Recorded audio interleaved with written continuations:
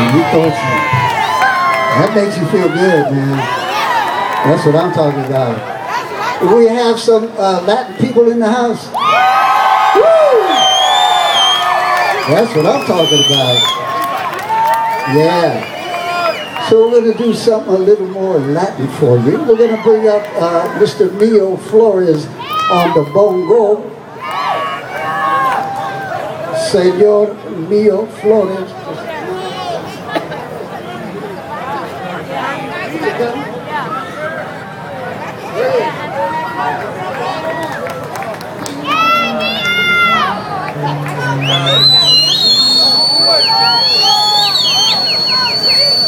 Okay, we're going to do a song entitled No Me Hagas Sufrir, San Jose.